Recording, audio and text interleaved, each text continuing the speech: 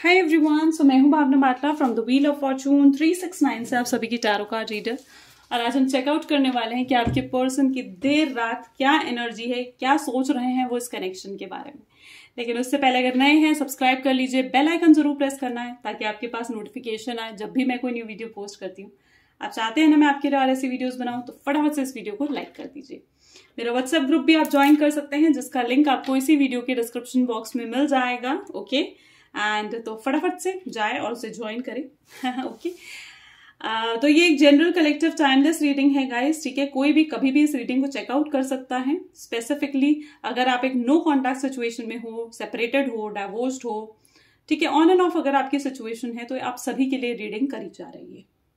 चलिए देखते हैं। जब मैं इस कार्ड को शफल करूँ तो आप अपने पर्सन के बारे में सोचते रहे, अपने पर्सन का ही नाम ले सकते हैं।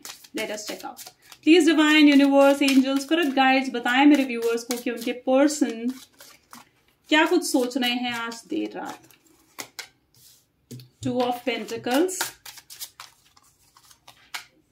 three of swords okay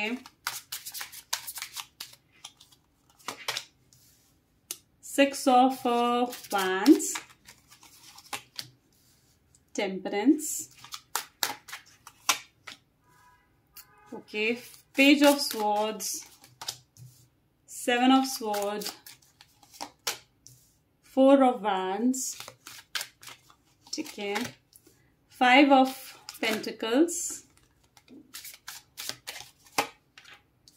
hermit and one more strength bottom of the deck में टेन ऑफ कप्स वाओ तो ओवरऑल गाइस यहाँ पे सारे जोरियक साइंस हैं Gemini Libra Aquarius Cancer Scorpion Pisces Taurus Virgo Capricorn and Aries Leo and Sagittarius यानी almost सारे ही जोरियक science आज इस रीडिंग में हैं। ये आपके, या आपके पर्सन के हो सकते हैं and secondly hope so you all can see the cards properly right okay so यहाँ पर गाइस जो मुझे आपके पर्सन की एनर्जी दिख रही है ना इट वॉज़ दैट देखिए बॉटम ऑफ़ द डेक में ही टेन ऑफ़ कप्स का कार्ड उठ कर आया है। यानी मे बी या तो आपकी पर्सन मैरिड है मे बी उनकी कोई वाइफ है हस्बैंड है या फिर बट फैमिली रीजन कोई हो सकता है जिस वजह से ये नो कॉन्टैक्ट आपकी लाइफ में हुआ है ठीक है? मे uh, बी ये फैमिली रीजन ही उनकी मजबूरी है जिस कारण उन्होंने आपको ये नो कांटेक्ट दिया है। मे बी ये फैमिली रीजन ही ना मे बी या तो उनकी फैमिली नहीं मान रही है। या ऑलरेडी उनकी कोई वाइफ हस्बैंड है एंगेज है वो। ठीक है गर्लफ्रेंड है कोई उनकी। ठीक है? और मे uh, भी हो सकता है कि वो आपकी फैमिली में से ही किसी और को आपकी सिस्टर हो सकती है या आपकी सिस्टर हो सकती है या फिर कोई कज़न हो सकती है जिनके साथ वो ऑलरेडी एंगेजमेंट उनकी होने वाली है। ठीक है, या रिलेशनशिप में है। तो मतलब कुछ ऐसा फैमिली रीजन मुझे यहाँ पर दिख रहा है जिस वजह से ना ये सेपरेशन हुआ है। जिस वजह से ये पेन की एनर्जी यहाँ पर मुझे दिखी है, जिस वजह से ये थ्री ऑफ़ स्वॉर्ड्स यानी दिल भारी होना, रोना, अकेलापन महसूस कर रहे हैं आपके पर्सन ठीक है, वो मजबूरी में आकर कोई भी एक्शन ले नहीं सकते। बहुत चीज़ें हैं जिन्होंने उसे बांधा हुआ है। ठीक है, यहाँ पर भी मैरिज का कार्ड है फोर ऑफ़ स्वॉर्ड्स की एनर्जी है। ठीक है? और वो ना मुझे बहुत ज़्यादा मजबूर दिख रहे हैं इस चीज़ को लेकर कि अब वो क्या करें? उनको समझ में ही नहीं आ रहा है। उनको ना ही कोई करेक्ट गाइडेंस दिख रही है। वो किसी और से ये बात कह भी नहीं सकते हैं। वो अपनी फैमिली में आपको भी नहीं बता पा रहे हैं वो, क्योंकि आपके साथ तो वो नो कांटेक्ट में है।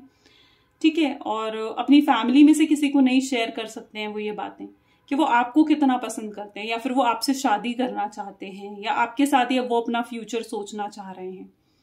ठीक है तो वो ना मतलब एक मैं कहूँगी कि वो बहुत ज़्यादा मजबूर से दिख रहे हैं, जिस वजह से ना ही आपको उनका एक्शन देखने को मिल रहा है, ना ही आपको इस रिलेशनशिप का कोई आउटकम दिख रहा है, यानी कोई रिज़ल्ट भी नहीं दिख रहा है आपको इस रिलेशनशिप का। एम आई राइट हरमिट की एनर्जी अगेन उनका अकेलापन दिखा रहा है। यहाँ पर भी वो आप और वो दोनों ही इस एनर्जी में हो, जहाँ पर दोनों को डर है सेपरेट होने का। जहाँ पर दोनों को डर है कि आप दोनों अलग हो जाओगे। जहाँ पर आप दोनों को डर है कि अब शायद आप दोनों, वो जितने मजबूर है ना, शायद आप भी उतने मजबूर हो, जिस वजह से आप भी उन्हें कॉल मैसेज नहीं कर पा रहे हो, आपसे बात नहीं कर पा रहे हो। और ये रीजन है कि वो आपको कमिटमेंट भी नहीं दे पा रहे हैं, है ना?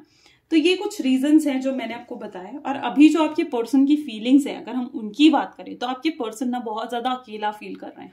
मे भी रातों को बैठकर रो रहे हैं, ठीक है? आपको ही मिस कर रहे हैं आप ही के ड्रीम्स देख रहे हैं ठीक है? आपको ही इमेजिन कर रहे हैं। आप ही की डीपी उन्होंने अपने फ़ोन में लगा रखी है और उसी से वो शायद बात करते रहते हैं। आप ही के मैसेजेस पढ़ना आपने अगर उन्हें कोई सॉन्ग्स डेडिकेट करे हैं वो सुनना। एंड uh, आपने अगर कोई उन्हें वॉइस नोट भेजे हैं तो उनको सुनना। तो वो उनकी कहीं ना कहीं एनर्जी है जो आज लेट नाइट दिख रही है जिस बारे में वो सोच रहे हैं। ठीक है? एंड आपके पर्सन ना बहुत ज़्यादा उस सुनते हुए बहुत अपसेट से फील कर रहे हैं। बहुत ज़्यादा सैड एनर्जी में है, रोते हुए से दिख रहे हैं और हेल्पलेस से महसूस कर रहे हैं। उनको ऐसे लग रहा है जैसे वो कोई बंद हो गए हैं कहीं पर, उस जो कमरे की चाबी है वो कहीं ना कहीं आपके पास है। तो इस तरीके की एनर्जी आपके पर्सन की मुझे दिख रही है। यहाँ पर भी देखू ना तो वन टू थ्री तीनों ही मैरिज के कार्ड जुट कराए हैं। ठीक है? एंड यहाँ पर अगर देखा जाए ना तो इट वॉज़ लाइक कि वो शायद आपको अपनी ज़िंदगी का ना एंजल मानते हैं। उनको ऐसा लगता है कि आप ज़िंदगी की, उनकी सारी प्रॉब्लम सॉर्ट आउट कर सकते हो। और इस लेवल पर भी कहीं ना कहीं वो आपसे ही बहुत चीज़ें हैं जो एक्सपेक्ट कर रहे हैं। ठीक है, उन्हें ऐसा लग रहा है कि आप उन्हें कॉल करो, आप उन्हें मैसेज करो, आप उनको क्लैरिफाई करो।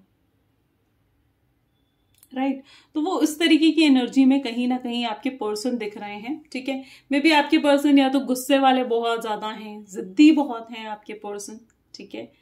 एंड uh, और आपके साथ बहुत कुछ है जो वो मतलब सोचते हैं फ्यूचर भी आपके बारे में सोचते हैं। वो सच बताऊँ तो वो शादी भी आपके साथ ही करना चाहते हैं।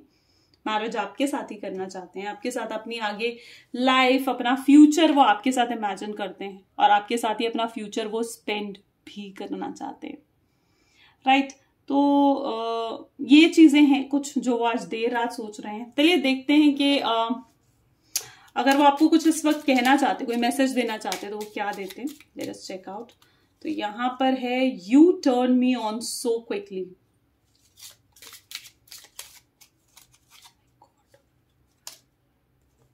यार, ये मज़ा ही नहीं आया इस रीडिंग में।